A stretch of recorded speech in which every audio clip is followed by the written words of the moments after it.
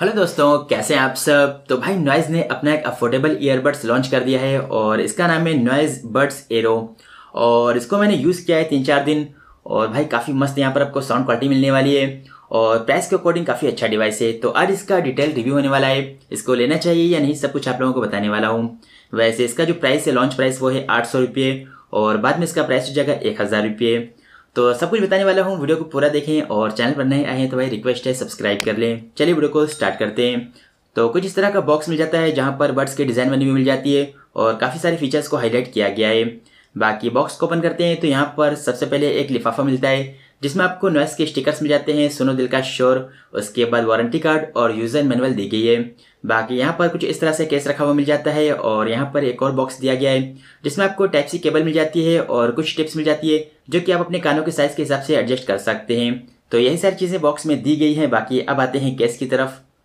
और देख सकते हैं कुछ इस तरह की यहाँ पर आपको डिज़ाइन मिल जाती है और लुक वाइज काफ़ी अच्छा लग रहा है। बाकी इसमें आपको प्लास्टिक बिल्ड मिल जाती है और इसमें आपको मैट फिनिश दी गई है। जो कि पर्सनली मुझे काफ़ी पसंद है। और यहाँ पर नॉइस की ब्रांडिंग है, यहाँ पर लाइट मिल जाती है और यहाँ पर टाइप सी पोर्ट दिया गया है। अब इसको ओपन करते हैं और बर्ड्स को बाहर निकालते हैं। तो जो बर्ड्स की डिज़ाइन है, वो कुछ इस तरह की मिल जाती है, जो कि दिखने में काफ़ी मस्त लग रही है। और इसमें आपको ग्लोसी और मैट फिनिश का कॉम्बिनेशन देखने को मिल जाता है। और बर्ड्स पे आपको लाइट भी मिल जाती है और यहाँ पर नॉइस का लोगो दिया गया है। और यहाँ पर नीचे साइड में आपको क्रोम की फिनिश मिल जाती है, जो कि लुक वाइज अच्छी लगती है। तो डिज़ाइन बिल्ड क्वालिटी काफ़ी अच्छी है। और हिंज की बात करें तो यहाँ पर हिंज की क्वालिटी भी काफ़ी बढ़िया है और बिल्कुल भी हिलता नहीं है।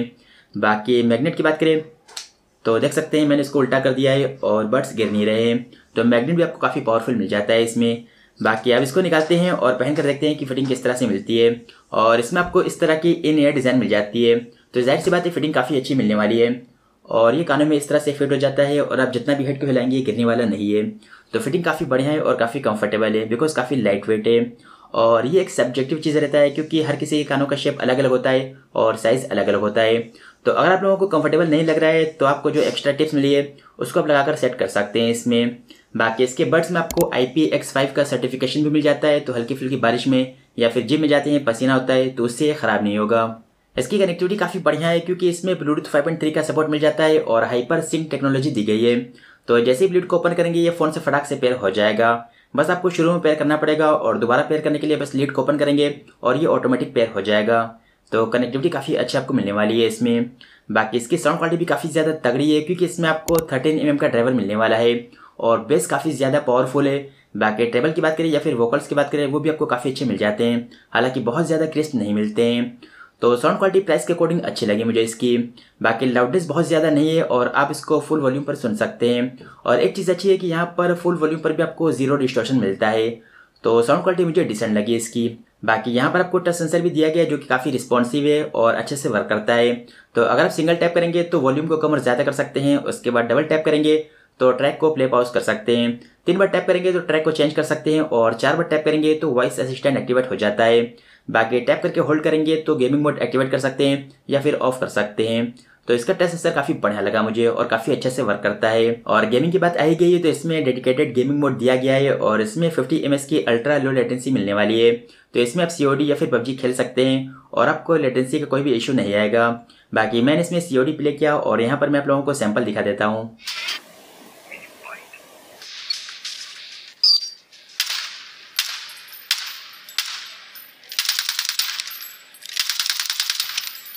तो इस पर आप गेमिंग कर सकते हैं। और कॉलिंग की बात करें तो इसका कॉलिंग एक्सपीरियंस काफ़ी अच्छा रहा, क्योंकि इसमें आपको इन्वायरमेंटल नॉइस रिडक्शन का फीचर दिया गया है।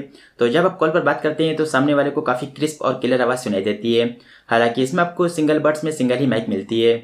और यहाँ पर मैं इसके माइक्रोफोन की क्वालिटी आप लोगों को सुना देता हूँ। तो अभी आप लोग जो आवाज़ सुन रहे हैं वो मेरे कैमरे की माइक से रिकॉर्ड हो रही है। और अभी आप लोग जो आवाज़ सुन रहे हैं वो इस बर्ड्स के माइक्रोफोन से रिकॉर्ड हो रही है। तो जब आप कॉल पर बात करेंगे तो सामने वाले को कुछ इस तरह की आवाज़ सुनाई देगी। Hello one two three check hello one two three इस तरह की आपको ऑडियो क्वालिटी मिलने वाली है इसके माइक्रोफोन से।